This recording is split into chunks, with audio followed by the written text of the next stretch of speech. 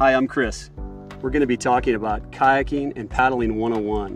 When I think about those techniques, the things that come to mind for me are keeping a good upright body position, have a nice structured torso in my seating position, but I want to have relaxed legs and I want to have my hips nice and relaxed. That good posture is going to make for better paddle efficiency. It's going to reduce lower back pain. It's going to make you have more fun throughout your day of paddling. I want to demonstrate where to place my hands and how to position the paddle. I place that on top of my head and I'll form right angles with my arms relative to the paddle shaft. That'll give me good shoulder width spacing on the paddle. I want to use a nice, relaxed grip. Remember to form a circle with your fingers and have your knuckles oriented to the top of the blade on the paddle shaft. Demonstrating forward stroke, there's three things that we want to know about. Catch, propulsion, and recovery.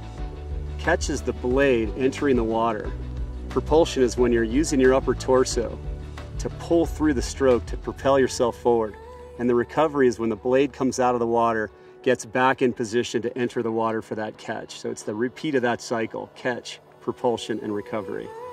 In order to turn the boat, you're gonna use the sweep stroke. You're gonna enter the blade towards your feet and sweep a nice wide arc towards the back or the stern of the boat. You're gonna finish the stroke by lifting the paddle out of the water as it approaches the stern of the boat. In order to stop the kayak, you're gonna find the reverse forward stroke helpful. You'll accomplish this by placing the blade in the water to slow your progress in the kayak. You'll use your torso and core to resist that pressure of the water to slow down the kayak as you proceed to push that blade forward to stop your progress. I hope you find these kayaking tips helpful in making your experience be the best it can be.